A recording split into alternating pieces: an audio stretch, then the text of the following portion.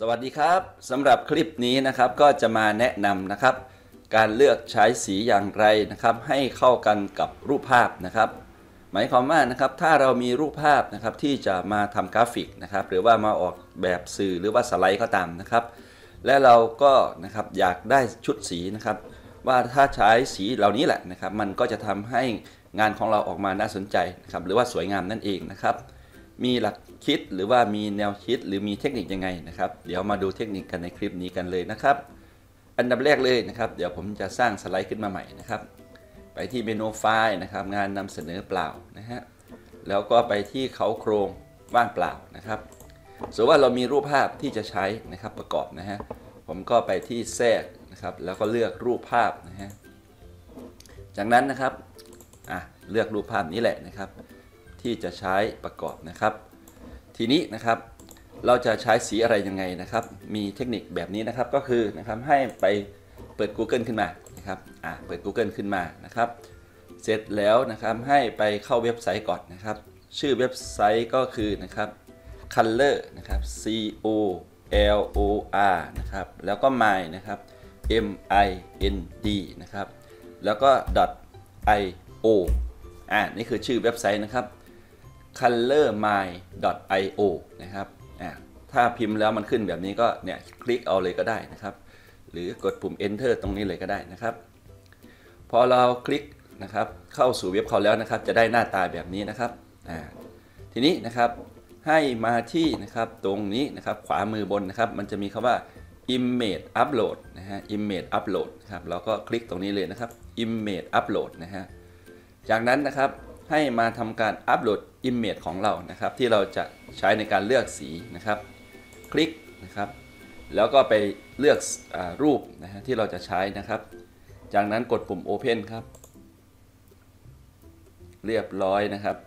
พอ Open เสร็จนะครับ รูปเราจะขึ้นมาบนเว็บเรียบร้อยแบบนี้นะฮะจากนั้นนะครับเราจะได้ชุดสีตรงนี้ขึ้นมานะฮะและเราก็กลับมาที่ PowerPoint นะครับ ไปที่เมนูแทรกนะครับ แล้วก็เลือกสกรีนช็อตครับ แล้วก็ไปที่การคลิปหน้าจอครับ เสร็จแล้วนะครับรอสักครู่นะครับ หน้าจอของเราก็จะเป็นสีขาวๆนะครับ แล้วเราก็ใช้เครื่องหมายบวกนะครับ ไปวาดนะครับครอบนะครับแบบนี้นะฮะแล้วก็ปล่อยเมาส์อ่าแล้วก็จะได้ชุดสีนี้กลับมาเรียบร้อยนะครับ แล้วเราก็อาจจะย่อลงไปแบบนี้นะครับอ่าเมื่อได้แบบนี้เสร็จนะครับ เราก็ มาตกแต่งนะครับสไลด์หรือว่ากราฟิกของเรานะครับออย่างเช่นนะฮะผมวาดสี่เหลี่ยมขึ้นมานะครับวาดสี่เหลี่ยมขึ้นมาแบบนี้นะฮะวาดสี่เหลี่ยมขึ้นมาเต็มพื้นที่นะครับ เส้นกรอบรูปร่างไม่มีเส้นกรอบพลิกขวาแก้ไขจุดนะฮะแล้วก็มาข้างล่างนี้คลิกขวาที่จุดดำนะครับ แล้วก็เลือกลบจุดนะครับ เสร็จแล้วคลิกไปที่นะครับจุดดำตรงนี้นะครับ แล้วก็ปรับตรงนี้นะครับนี่นะฮะตรงนี้ก็เหมือนกันนะครับอ่าจะเอาโค้งแบบไหนก็ได้นะครับ คลิกนะฮะแล้วก็ลองปรับนะฮะอย่างเงี้ยนะฮะนี่ก็ลองปรับดูนะฮะอะสมมติว่าได้แล้วหนึ่งรูปนะฮะเสร็จแล้วทำไงต่อนะครับ อ่าเราก็มาเลือกชุดสีนะครับอ่าตัวนี้คลิกขวาย้ายไปข้างหลังสุดเลยกันนะครับเนี่ยเราก็มาเลือกชุดสีว่าเราจะใช้สีอะไรนะครับ เช่นตอนนี้ผมจะทำเป็นเงานะฮะก็มาที่เติมสีรูปร่างนะครับ ใช้หลอดดูดสีนะครับ จิ้มไปที่สีนี้นะครับออกมืดๆนะฮะเสร็จแล้วนะครับ ก็ Copy รูปนี้ออกมาอีกรูปหนึ่งนะครับ เราจะทำเป็น 2 ชั้น Ctrl C Ctrl V นะฮะแล้วก็มา เลือกสีนะฮะเลือกสีใช้หลอดดูดสีนะครับผมจะใช้สีนี้ก็ได้สีนี้นะครับ เสร็จแล้วก็นะครับย่อนะครับย่อรูปนี้นะครับเพื่อให้เป็นภาพซ้อนกันนะฮะแล้วก็เอามุมนี้นะครับไปชิดกันพอดีนะครับย่อแบบนี้นะฮะปรับนิดนึงนะครับ ตรงนี้ก็ปรับนิดนึงอะ ให้มันเป็นรูปลักษณ์ลักษณะนี้นะครับ หรือนะครับเราอยากได้รูปนี้เป็นสีที่มันเข้มขึ้นนะครับ ก็มาใช้เติมสีนะครับเนี่ยหนึ่งสองสามสี่ห้าในห้าสีเราใช้สีไหนได้หมดเลย มันจะเข้ากันหมดทุกอันเลยนะครับอยากใช้สีไหนก็ได้นะฮะเข้ากันหมดนะฮะลองจิ้มดูนะฮะเนี่ยสีนี้ก็ได้นะครับ พอได้ฝั่งนี้นะครับเราจะมาทำมุมฝั่งนี้ก็ทำเหมือนกันครับวาดสี่เหลี่ยมขึ้นมาง่ายๆนะฮะวาดสี่เหลี่ยม คลิกขวาแก้ไขจุดนะครับ แล้วก็คลิกขวาลบจุด พอลบจุดออกนะครับ เราก็ดัดโค้งนะครับ คลิกไปที่จุดดำนะฮะ ดัดโค้งนะฮะอย่างนี้นะฮะ เสร็จแล้วก็คลิกที่ว่างนะครับ พอได้มาแล้วก็เส้นกรอบรูปร่างไม่มีนะฮะ เติมสีนะครับ เราจะใช้สีอะไรนะครับ ก็ลองมาดูดสีตรงนี้นะครับ จะใช้สีนี้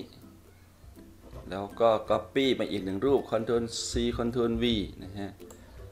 รูปแรกนี้ก็ให้มันใหญ่ๆนิดนึงนะครับ เราจะซ้อนอยู่ข้างในนะครับ รูปที่2นะครับ มันซ้อนอยู่ข้างนอกนะครับ เราก็มาเติมสีนะครับเงี้ยนะฮะ ใส่เข้าไปนะครับ ซ้อนกันแบบนี้อ่า อ่า ประมาณนี้นะครับ ถ้าเราไม่ต้องการให้มันสม่ำเสมอจนเกินไปก็แบบนี้นะครับ คลิกขวาแก้ไขจุดแล้วก็ ลากจุดนี้นะครับลากจุดหรือปรับปรับไม่ให้มันเท่ากันก็ได้นะฮะเงี้ยนะครับให้มันเกิดไม่จำเป็นต้องเป๊ะๆนะครับ ให้มันมีน้ำหนักนะครับ ไม่จำเป็นต้องเท่ากันนะครับคลิกขวาแก้ไขจุดอย่างเงี้ยนะครับ ก็ลากออกมานะครับ อย่างนี้ก็ได้นะฮะอ่าประมาณนี้นะฮะทีนี้นะครับพื้นหลังนะครับพื้นหลังนะครับ คลิกขวา นะฮะจัดรูปแบบพื้นหลังนะครับเราก็สีที่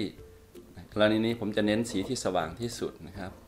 ก็มาดูดสีนี้นะครับสว่างที่สุดเป็นพื้นหลังนะฮะอย่างเงี้ยนะครับ มันก็จะเข้ากันนะครับกับโทนสีของรูปภาพนะครับ ส่วนรูปภาพนี้นะครับถ้าเป็นสี่เหลี่ยมก็คงไม่สวยงามนะครับ เราก็ใช้เทคนิคการครอบตัดนะครับ ไปที่รูปแบบรูปภาพนะครับ ไปที่ครอบตัดก่อนนะฮะ แล้วเลือกอัตราส่วนกว้างยาวเป็น 1 ต่อ 1 ก่อนนะครับ แล้วเราก็ขยับนะฮะขยับตำแหน่งภาพนะครับที่เราจะใช้นะฮะเราจะเอาประมาณไหนแล้วลองขยับดูก่อนนะฮะพอได้ตัวนี้แล้วเราก็ค่อยครอบตัดนะฮะจากนั้นคลิกขวาคัดลอกนะฮะแล้วก็คลิกขวาวางนะครับ วางเป็นรูปภาพนะฮะวางเป็นรูปภาพ ส่วนรูปนี้ผมก็จะตัดทิ้งนะฮะ จากนั้นค่อยมานะครับตัดให้เป็นรูปร่างตามที่เราต้องการอีกทีหนึงนะครับครอบตัด เช่นผมอยากให้มันเป็นวงกลมนี้ก็คลิกไปที่วงกลมนี้นะครับเนี่ยเราก็จะได้วงกลมขึ้นมาแล้วนะฮะถ้าเราต้องการให้เกิดเส้นขอบนะฮะเราก็มาที่เส้นขอบรูปนะฮะแล้วก็มาเลือกความหนานะครับจะเอาหนาเท่าไหร่นะฮะอย่างเงี้ยสีอะไรนะครับก็เลือกสีอยู่ในโทนพวกนี้แหละนะครับโทนที่เราเลือกใช้นะฮะพวกนี้นะฮะใช้ สีไหนก็ได้นะที่มันเข้ากันเนาะอ่านี้ก็ได้เราก็จะได้นะครับกราฟิกนะครับที่มันมันเข้ากันพูดยังไงมันเข้ากันนะครับแม้แต่ตัวหนังสือนะครับแม้แต่ตัวหนังสืออะแม้แต่ตัวหนังสือนะฮะสือว่าทยากรนะครับการใช้สีของตัวหนังสือนะฮะก็จะมีส่วน ให้มันอยู่ในโทนสีเดียวกันหมดทุกตัวเลยอย่างเงี้ยนะฮะลองขยายดูนะปึ๊บนะอย่างเงี้ยนะฮะทีนี้เราก็มาเลือกใช้สีนะครับใช้สีที่มีอยู่ในแผงเรานี่แหละเห็นไหมฮะสีไหนก็เข้ากันหมดเลยนะฮะนี่ครับอ่าหรือ